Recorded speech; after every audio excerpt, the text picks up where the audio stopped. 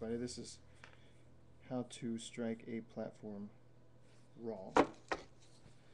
Alright, so we don't have a platform here. So we're going to isolate a platform. We do have a ridge though. We're going to go ahead and isolate a platform right here.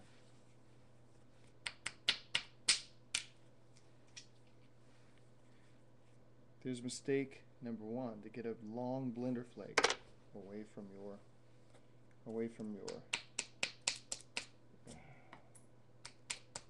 platform.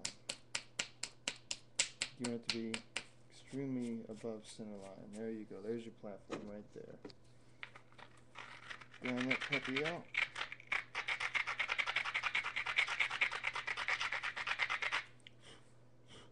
remember, this is entitled How to Do It Wrong. Alright. Now, most of you already see what I'm doing wrong, but we're going to let the noobs figure that one out.